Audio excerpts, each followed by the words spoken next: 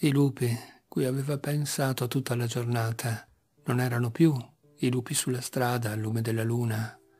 Erano diventati il tema dei lupi, una figurazione di forza avversa che si era prefissa di perdere lui e Lara o di scacciargli da Varichino.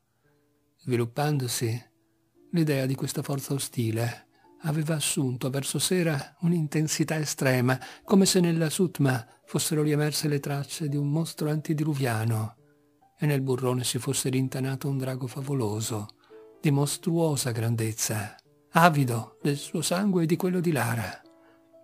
Venne sera. Come la vigilia, Zivago accese la lampada sulla scrivania. Lara e Katenka andarono a dormire più presto del giorno prima. Quello che aveva scritto durante la notte si divideva in due gruppi, vecchie cose, ricopiate nella nuova redazione, erano scritte ordinatamente, in bella calligrafia. Le nuove erano invece buttate giù in fretta, abbreviazioni, segni, sgorbi illeggibili. Decifrandole provò la consueta delusione. La notte prima quegli abbozzi l'avevano indotto alle lacrime e alcune parti riuscite colmato di meraviglia. Ora proprio quelle lo deludevano e amareggiavano per le troppo evidenti forzature. Per tutta la vita aveva sognato un'originalità sobria, smussata e riducibile all'esterno, nascosta sotto il velo di una forma ovvia e continua.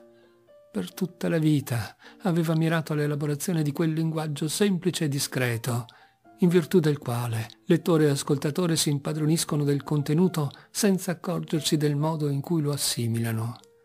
Per tutta la vita aveva cercato uno stile inavvertito, che non attirasse l'attenzione e fu spaventato dal constatare quanto fosse ancora lontano da quel raggiungimento. Negli abbozzi della notte aveva voluto esprimere, con mezzi che per la loro elementarietà confinavano col balbettio e la suggestione di una ninna nanna, il proprio stato d'animo fatto d'amore e di paura, d'angoscia e di coraggio, in modo che esso si comunicasse di per sé, quasi indipendentemente dalle parole.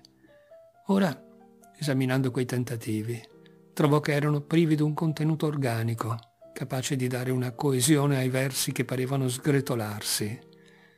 Cancellando via via quel che aveva scritto, prese a verseggiare sul suo stesso tono lirico la leggenda di Agori, il coraggioso.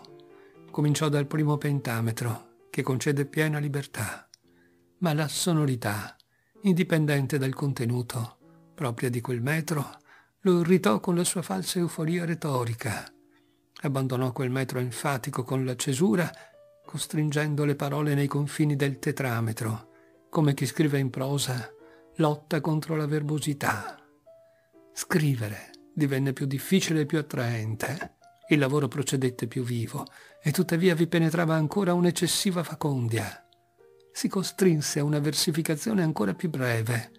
Nel trimetro le parole entravano a fatica, svanirono le ultime tracce di sonnolenza, si rianimò, si infervorò. L'angustia metrica suggeriva di per sé le parole.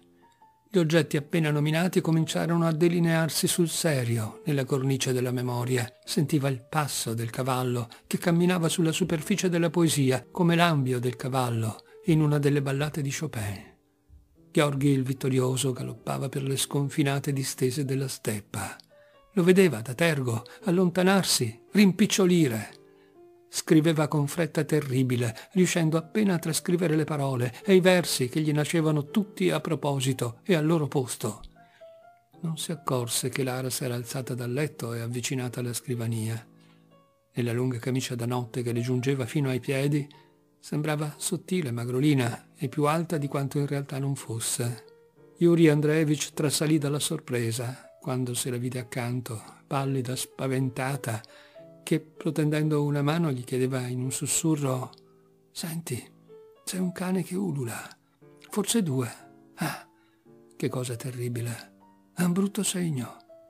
Resistiamo ormai fino al mattino, ma poi partiamo, filiamo. Non posso restare qui un minuto di più. Dopo un'ora, rassicurata e persuasa a fatica, si calmò e riprese coraggio. Yuri Andreevich uscì sul terrazzino d'ingresso.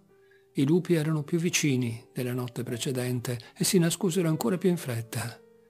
Di nuovo non riuscì a distinguere in quale direzione fossero fuggiti. Erano in branco e non poté contarli.